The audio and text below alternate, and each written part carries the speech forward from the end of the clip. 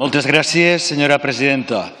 Señor Illa, eh, permítame que sin, formar parte de este gobierno social comunista, sino solo de ser uno de esos villanos que de tanto en tanto eh, les apoyan, permítame que me, que me, sume al aplauso que le han dedicado. Sé que ha, han pasado días difíciles y por encima de los aciertos y los errores sé que ha sido una buena labor.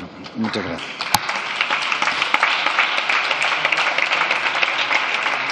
Compromís no se va a oponer a este decreto. De hecho, vamos a pasar del voto negativo a la abstención.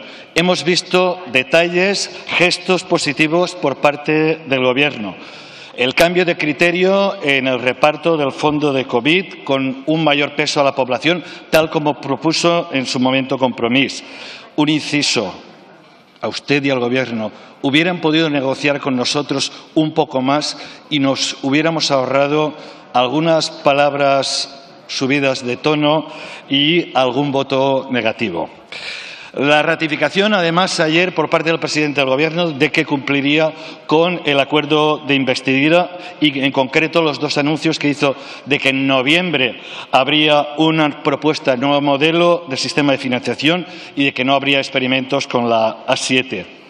Falta mejorar, y lo digo, algunas cosas. Las formas. Las formas con los grupos, aunque seamos eh, pequeños, falta mejorar esas formas y lo saben.